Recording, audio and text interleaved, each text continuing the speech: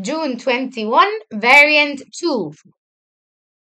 Um, catalase is an enzyme found in living cells. It catalyzes the breakdown of hydrogen peroxide to form water and oxygen. This is an investigation about enzymes. In this investigation, a celery extract was used as a source of catalase. Uh, take care, and we didn't use pure catalase enzyme. We didn't use pure catalase. No, we used celery extract as a source of catalase. The student investigated the effect of catalase concentration on the rate of uh, oxygen production. What am I going to investigate? The effect of catalase concentration. Then this is the changed variable. This is the factor I'm going to change. The student made five different concentrations of celery extract by diluting the celery extract by 50%. Diluting the celery extract by 50%. So, dilution by 50% means that the concentration will decrease by 50%. Five beakers labeled A, B, C, D, and E. 10 cubic centimeter measuring cylinder was used and I put in it 10 cubic centimeter of the celery extract. The same measuring cylinder was used to transfer 5 cubic centimeter of the extract from beaker A to beaker B. I took 5 cubic centimeter from the first beaker and I put it in beaker B.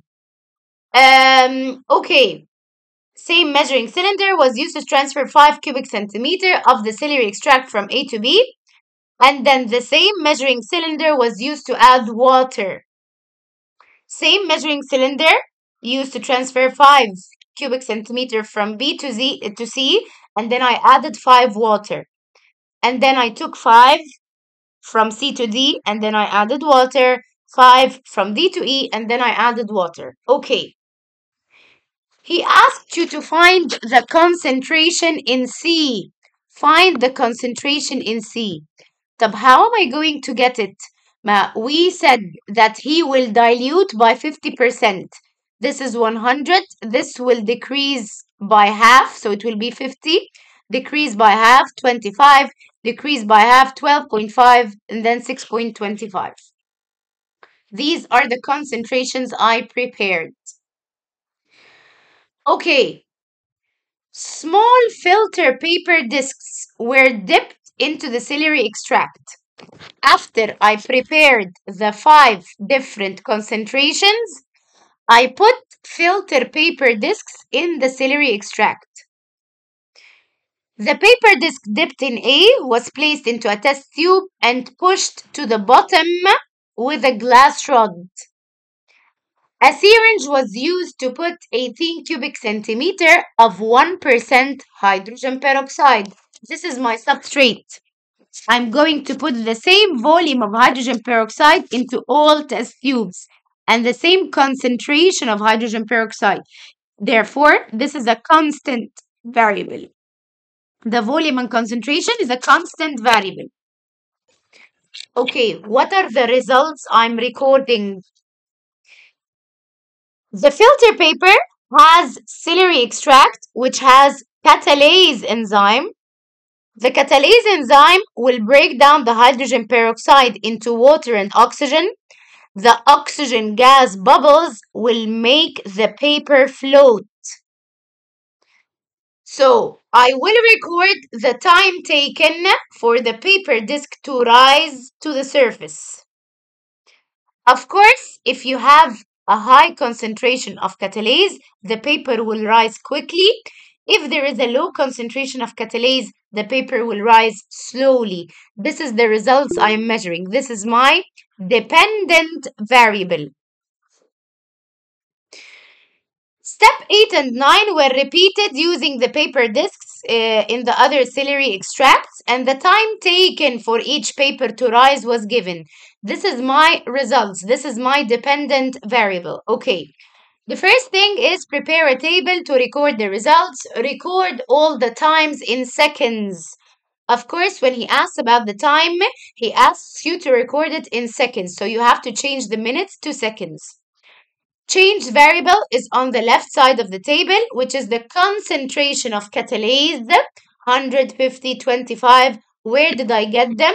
I got them from this percentage concentration of catalase.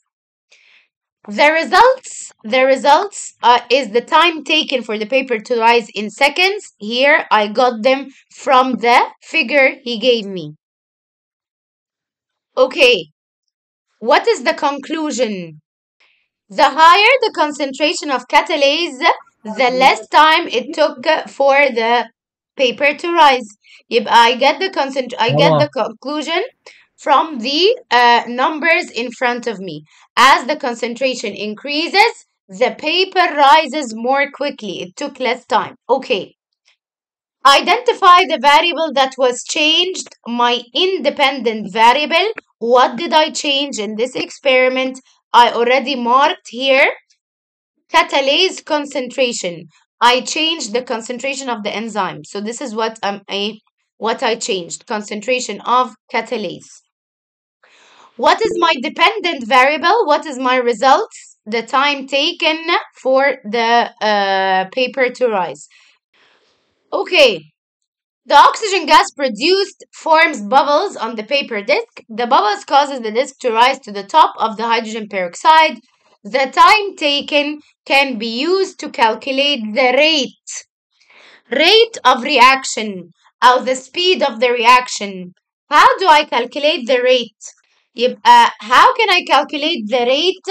I will measure the distance the paper traveled over a time to see how fast it went up. Okay, the rate. So I will measure the distance traveled by the paper and then I will divide it by the time taken.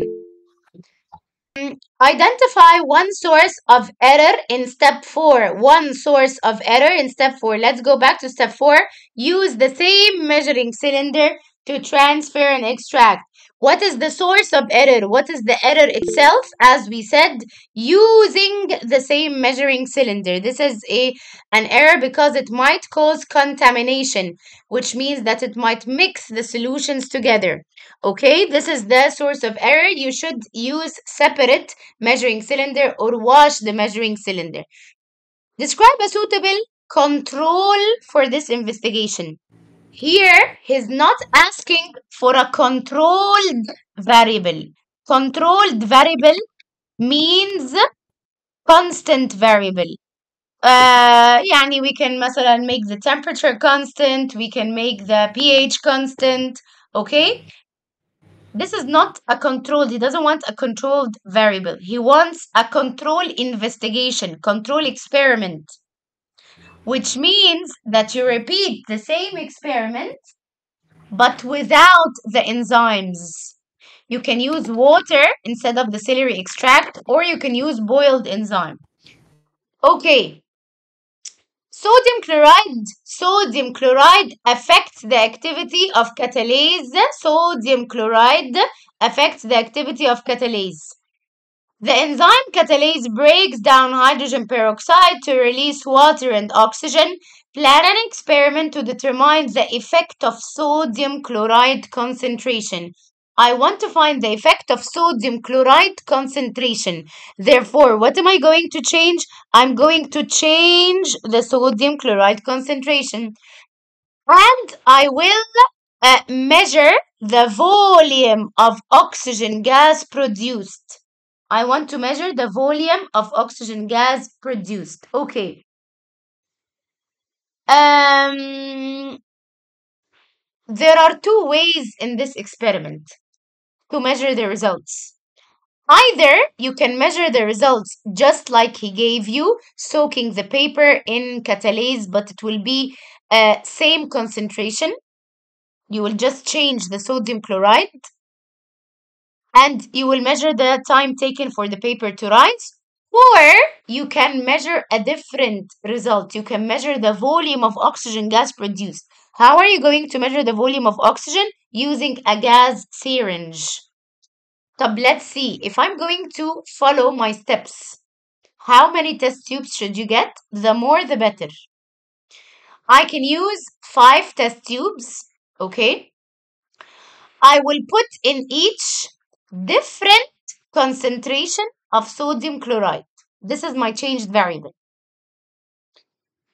So what should I put the same? Everything else should be the same. Same temperature, same concentration of celery extract, okay?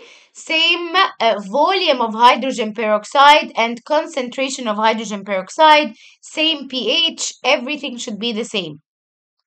What is my dependent variable? What are the results you are going to measure? Either you will say that you will put the filter paper in the celery extract, put it inside and measure the time taken. You can say uh, the same way that he gave you. Or you can say that you will measure the volume of oxygen produced in 5 minutes using a gas syringe. What is my improvement? Since you will put it in the same temperature, use thermostatically controlled water bath, wear goggles as a safety precaution, repeat the experiment three times, and calculate an average. Uh, the enzyme catalase is a protein. What is the test for protein? Food tests. Reagent for protein is the Biuret reagent. What is the positive result for protein? It is the purple color. Purple color. Okay. Question number two. The photograph shows a leaf from the European holy tree. Draw a large diagram of the holy leaf. As we said, it has to be single clear lines. You do not color anything. It has to be a big drawing. Um, you have to, as much as possible, draw the same number of prickles we have like 1, 2, 3, 4, 5, uh, small 1, 6, 7, 8, 9, 10, 11, 12, 13, 14, 15, 16. So as much as possible to try to draw the same pattern. And then you will put the main vein as double lines in the middle and small veins, um, side veins as much as possible, uh, like the drawing. And this how this is how it should look like. This is how it should look like. As much as possible, say, similar to the drawing, but bigger. Do not label. He does not need labels here. After the drawing, he will give you a magnification question. The line PQ shows the length of the leaf. Measure the line PQ using your ruler. It will give me 7 centimeters, which is 70 millimeter. Include the unit. You have to write the unit next to the number or else you will lose a mark. Draw a line on your drawing in the same position. In the same position. So you will draw a line from here to here. And measure your drawing. Each of you will get a different number according to his drawing, but it should be bigger than the original image. I will write my number with the unit millimeter and then calculate the magnification of your drawing. So it will be 70 over your measured drawing. It will give you the magnification. Uh, it's the other way around, I mixed up the numbers. It's supposed to be image over the actual image uh, of your drawing, what you drew okay which is this number. Over the actual size is the original image over 70 so it will give you the magnification. How big is your drawing? I have a question. okay. Students investigated the relationship between the number of prickles on the holy leaves and the height of leaves above the ground. The student collected leaves from five trees. I have five trees, okay? The student took the leaves from seven different heights on each tree. On each of these five trees, he took leaves from seven different heights. Okay, one, two, three, four, five, six, seven. Seven different heights on each a tree. He collected 10 leaves from each height. This means he collected 10 leaves from each height on this tree, 10 leaves from each height on this tree, 10 leaves from each height on this tree, وهكذا. And then he counted the number of prickles on each of the leaves, calculated the average number of prickles per leaf at each height. Okay, this is the heights he collected from. He asked you to get the average number at the height 2 meters.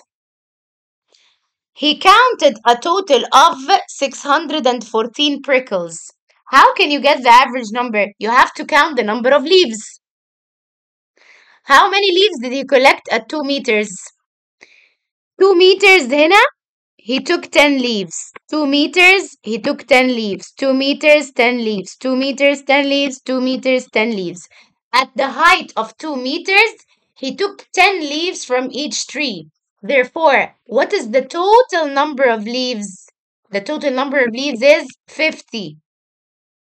What is the total number of prickles? 614. So what is the average number of prickles per leaf? It will be 614 over 50. Okay, it will give me a decimal number 12.28. To the nearest whole number, it will be 12. Um, state two ways that he ensured he collected a representative sample. How to make sure that you have a good sample, that you have a sample that represents ال, ال, ال, ال actual leaves available. Number one, I took the leaves from five different trees, not only from one tree, but from five different trees. And number two, from each height, I took 10 leaves, not one leaf, لا, I took 10 leaves from each height. يبقى collect many leaves from each height, or 10 leaves from each height, collect them from five different trees. Okay. Plot a line graph.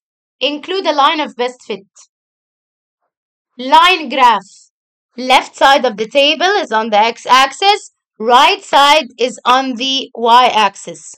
Since the numbers are equal interval, I will put them as they are. Here, I have from 1 till 18. So I can put my scale from 0 till 20. Okay.